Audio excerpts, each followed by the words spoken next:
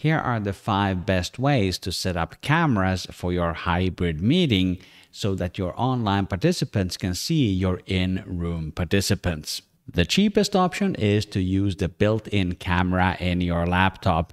The benefits are that you already have it and you know how to use it. Now it's not going to be the most flexible solution, but you can still do a lot with the built-in camera. In your hybrid meeting, you can place the laptop on a table in the meeting room. But it's even better if you have a podium so that you can elevate the laptop and the camera a little bit above the table. Ideally, you want to have the camera at eye level or as close as possible. One benefit of using the laptop camera is that you will still have access to the laptop during the meeting and you can see what's happening on the screen. The next solution is to use an external USB webcam. In this setup, I have mounted my Poly Studio P5 on top of this SmallRig desk stand. You can also mount the webcam on a real camera tripod or on a mini tripod or even on a light stand because it's not very heavy. All the equipment I'm talking about is linked in the description below the video. And there you can also pick up my free hybrid meeting checklist. One benefit of using an external webcam is that you can be more flexible with how you place it. It's also easier to get a webcam to the proper height, which is at eye level. It's also great that you can adjust the position of the webcam during the meeting if there's a need to do so, and you can do this independently of the laptop camera. A final benefit of an external webcam is that you will usually get a higher video quality than your laptop webcam. One limitation that you should be aware of is the length of the webcam cable. You can see here in the Poly Studio P5 that the cable is kind of stretched to its maximum length in this configuration. You can of course get a longer extension cable for your webcam if this is a problem. The next camera solution is to use your smartphone as a webcam. And this will give you great flexibility because you can place it in the room completely independent of your other equipment. In my typical setup, I use the phone as a second or even a third camera. So the primary camera is usually pointed at the speaker and one or two of the secondary cameras are pointed at the rest of the audience. But of course, you can also use a phone as a primary camera. If you do, make sure to route the audio through the phone as well. For example, if you're using a Bluetooth conference speakerphone, make sure that that speakerphone is connected to your smartphone so that Zoom or whatever video conferencing software you use can match the primary camera video with the audio from the room. If you use the phone as a secondary camera, do make sure to disconnect the audio from the phone. If you don't disconnect the audio, you will get audio feedback in the room and in the meeting and it will sound terrible. I made a dedicated video specifically about how to eliminate audio feedback in hybrid meetings. Check it out in the video description. When you're using a smartphone as a camera in a hybrid meeting, you can always choose between the back camera, the main camera, or the selfie camera, the front facing camera on the phone. Just keep in mind that usually the quality of the back facing camera is higher than the selfie camera.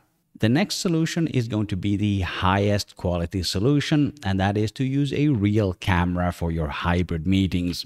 This could be a mirrorless camera like the Canon M50 that I'm using. It could be a DSLR. It could be a point and shoot compact camera. It could be a camcorder. It could be a cinema camera or a GoPro. Let's take the Canon M50 as an example. There are two ways that I can connect it to my laptop so that it shows up as a webcam.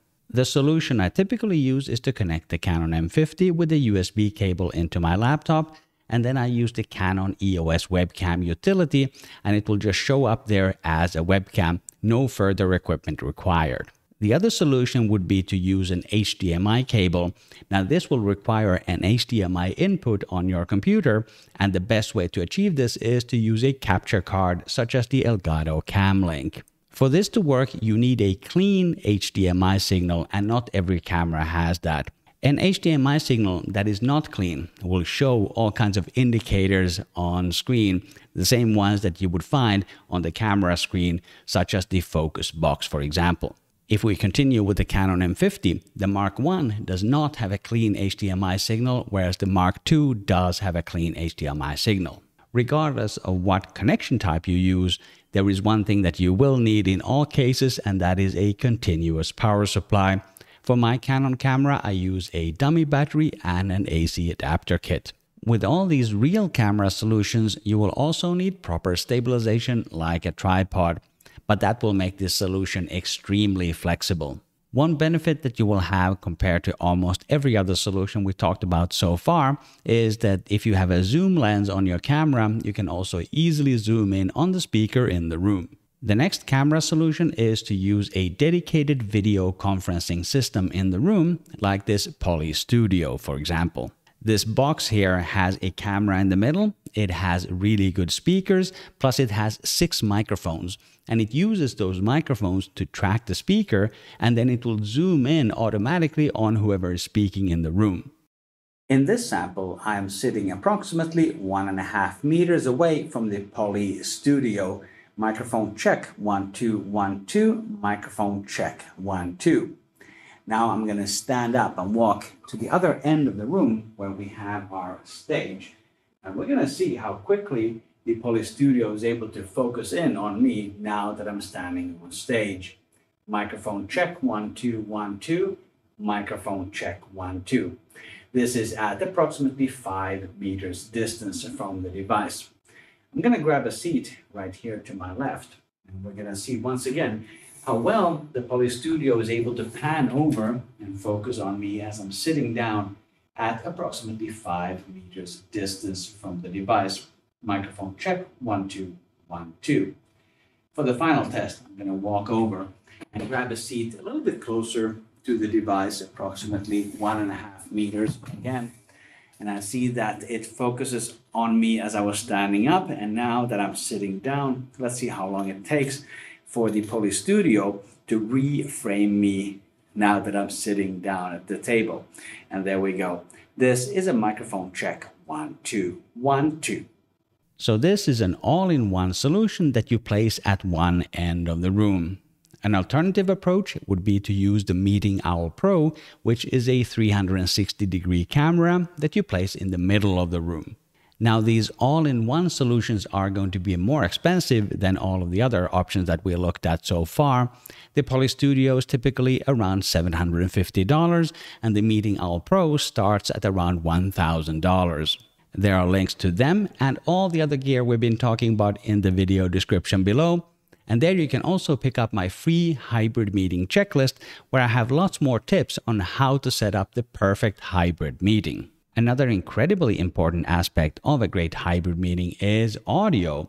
Click or tap the screen right here to watch my full video on how to set up excellent audio in your hybrid meetings from budget to professional solutions. My name is Markus Seppälä. Thank you very much for watching and I will see you in the next one.